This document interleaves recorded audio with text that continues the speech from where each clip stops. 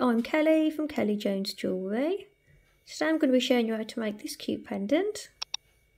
It's made using a drilled stone, so you're talking a large bead or this is a heart, you can use any shape you like, drilled from the top to the bottom. So there's a hole straight the way through. You can ask your gemstone seller to drill the stone or you can go to I went to for this beautiful stone and that's Gail on Facebook, Cabochon Cafe. So I'll put a list in the description below of everything you'll need to make this pendant along with all my usual links. We've got Facebook, Instagram, I think I've got Twitter on there as well now. Um, and there's my Etsy shop where I sell all my written tutorials. To make this pendant you'll need 0.8mm wire, that's 20 gauge. And today I've cut just one length at 7 inches, 18 centimetres. You'll need 0.315mm weaving wire Wound mine onto a bobbin. If you don't have a bobbin, don't worry. These are just for really good for just stopping the wire from flailing about while you're working.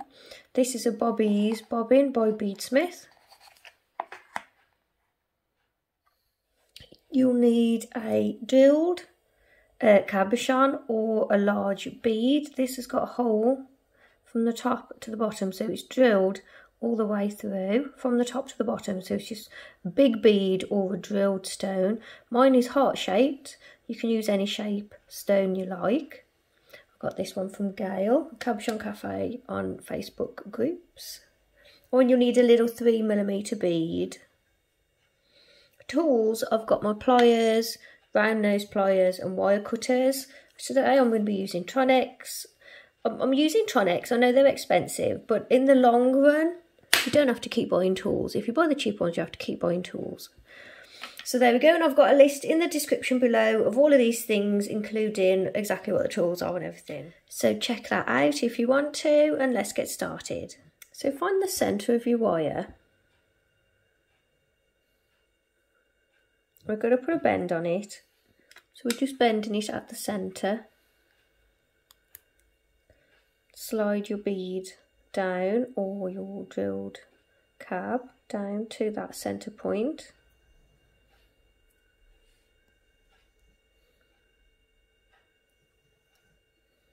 And we're going to bend the bottom wire up the back of the stone. So it looks like you've just got two wires coming out the top but you've in fact got that bottom wire coming out of the bottom of the stone and going up to the top. And then where the wire at the back reaches the top, we bend it over to the front.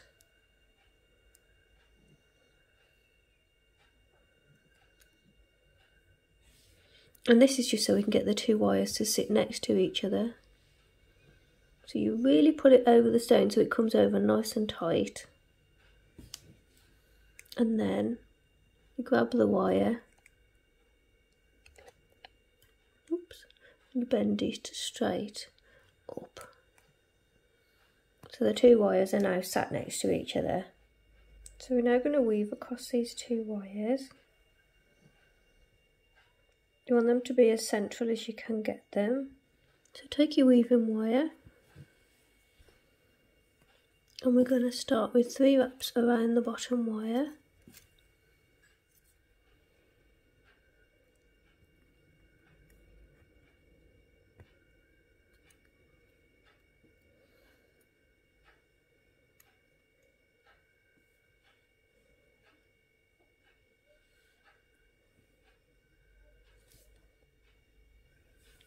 and then we go over the top so we go once around both wires.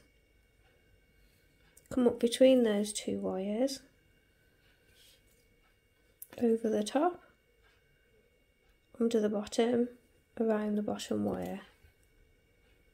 And that's our repeat. I'm just going to slide that down as far as it'll go. So we go around once around both wires once around the top wire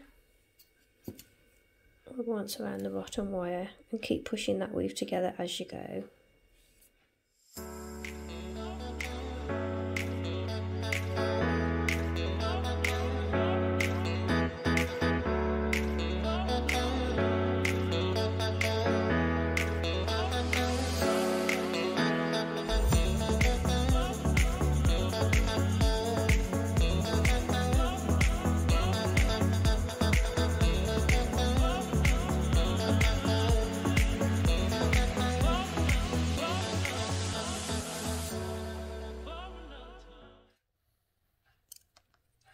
So I've done about two centimetres of that weave. And then I'll finish with a few wraps around the one side.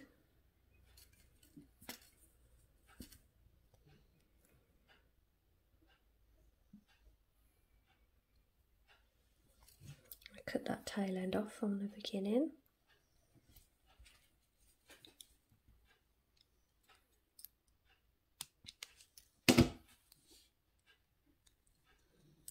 Always flatten down any sharp cut ends. And then we're going to bend that weave forwards.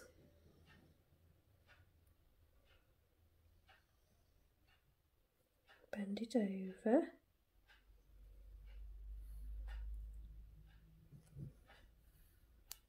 And if you do slow little movements, you're less likely to make big mistakes.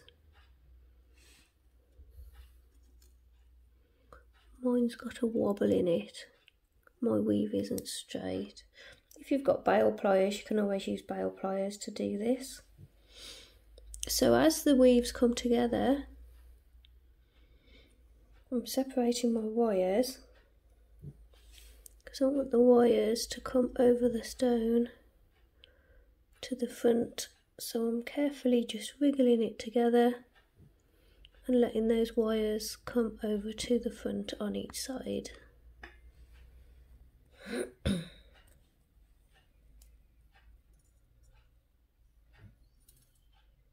you've got a nice loop on the top there. And that's your bail to put your cord through or your chain.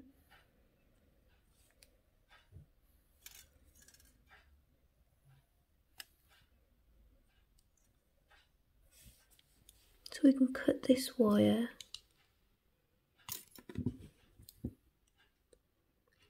flatten down the sharp bit. So now looking at these two wires that are pointing forwards, we're going to take one above and one below. And they're going to go cross over each other like that.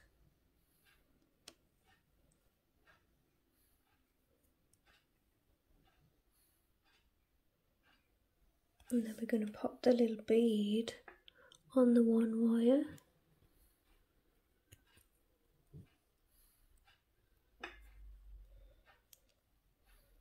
and this wire goes around this way and this wire goes around this way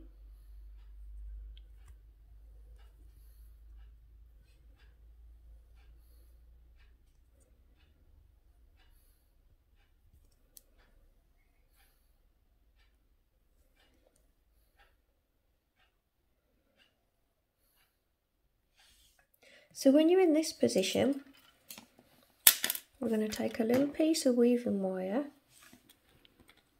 I'm going to wrap three times around this right hand side, your lower wire. I'm just going to cut that off.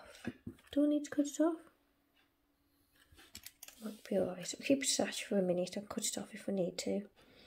So you bring this down to the bottom here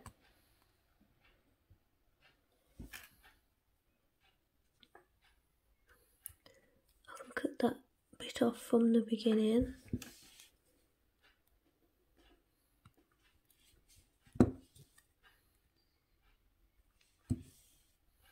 And this top wire comes around to the bottom wire like that. And here we go around both wires. So we're just tying them together there. A couple of times. And then back around that top wire. A few more times. Cut that now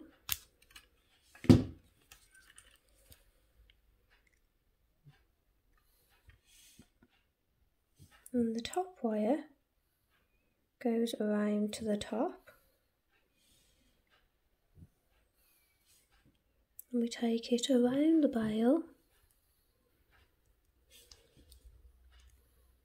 I'm going to use my pliers because the wire is quite short.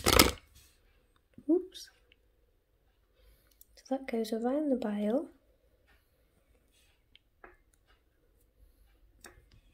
Like that.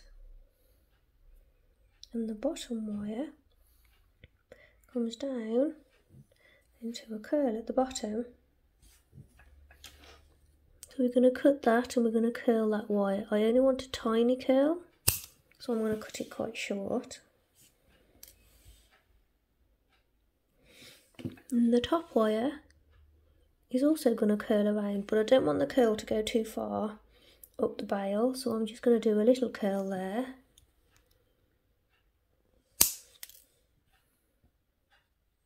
So take your round nose pliers. We're going to curl that top wire to make a little tiny curl on the top.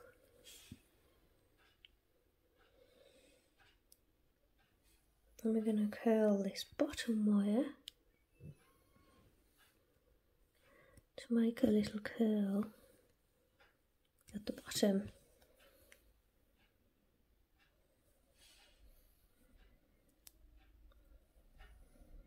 And there we have a cute little swirly design. I do love my curls and my swirls. I think that's turned out lovely. And like I say, you can do this on any shape stone. I'm going to run and oxidise mine and I will come and show you what it is. So there we have it finished. And I've oxidised it and give it a quick polish. I have done a video on oxidising if you want to oxidise yours. I also made another one in square square wire, all the same measurements, and I twisted the one wire and I put a slightly larger bead on there. So there we have it. I hope you like it. I really like how it turned out. And thanks for watching. That's Gracie. Um, and I will see you all in the next video. Bye.